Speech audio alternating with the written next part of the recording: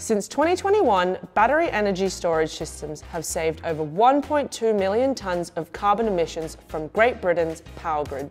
But that's actually a conservative number. It could be over 2.5 million tonnes. Even if we assume 1.2 million, that's the same as taking nearly 400,000 cars off the road or planting 28 million trees. By battery energy storage, we mean big shipping containers filled with battery cells, usually in fields.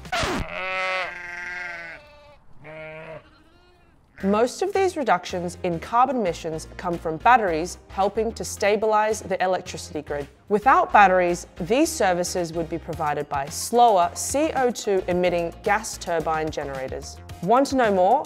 Hit like, follow and head to the website modo.energy.